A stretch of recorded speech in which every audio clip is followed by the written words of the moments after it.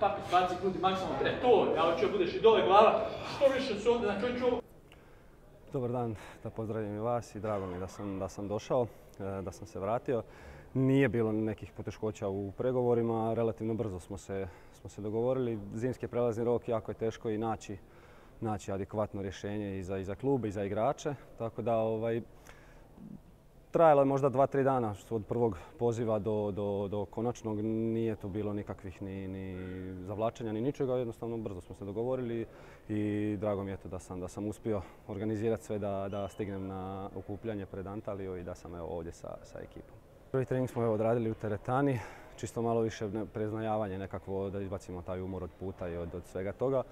Jako puno dečki iz, iz Slačione znam, iz ekipe, tako da sam sa nekima igrao i u dva i više klubova.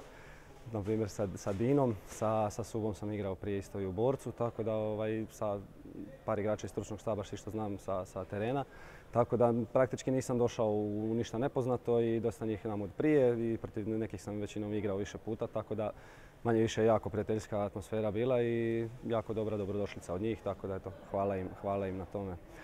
Što se tiče prijateljskih utakmica ovdje, to je uvijek nekako manji, manji fokus na rezultat, više na, na tu fizičku spremu i na te sve neke druge stvari, tako da nadam se da će proteći bez ikakvih ozljeda i da ćemo imati ovaj, jako dobre vremenske ovaj, uvjete i da će biti to sve, sve jako dobro. Jaki su protivnici, ali zato smo i došli ovdje da, da se okušamo sa, sa jakim protivnicima i mislim da bi to trebalo biti ovaj, jako dobro.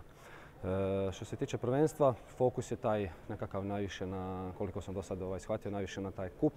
Tako da, eto, ovaj, Europa se treba praktički ovaj, izboriti, tu smo sad u dobroj poziciji i mislim da ćemo svi stremiti ka tome. Pa, pa, pa, pa!